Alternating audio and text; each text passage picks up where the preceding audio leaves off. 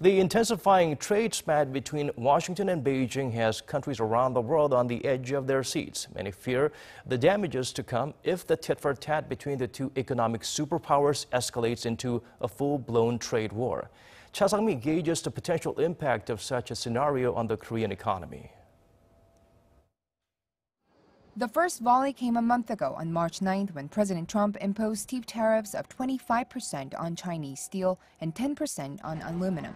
On March 22nd, Trump signed an executive memorandum proposing 60 billion US dollars worth of retaliatory tariffs against China for its alleged theft of American intellectual property. In the first week of April, Beijing hit back, imposing 25% duties on eight American goods, including pork and recycled aluminum tariffs in total worth $3 billion. Just a day later, Trump unveiled a list of 1,300 Chinese goods that would be subject to 25% tariffs focused on the Chinese aerospace, tech, and medical industries.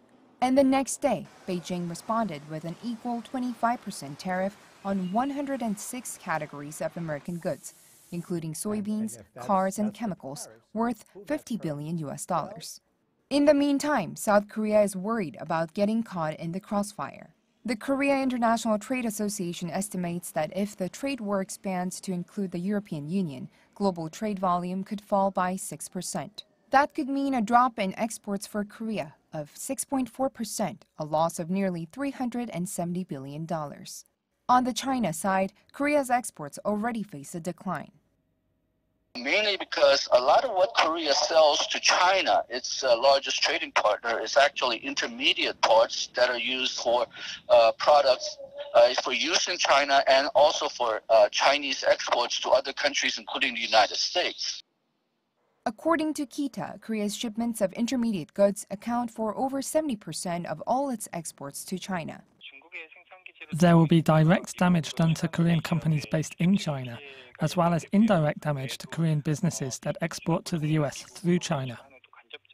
While experts say the Korean government should keep its options open and look to other countries for its exports, the hope is that tensions ease and that things don't escalate to a point that hurts global economic growth.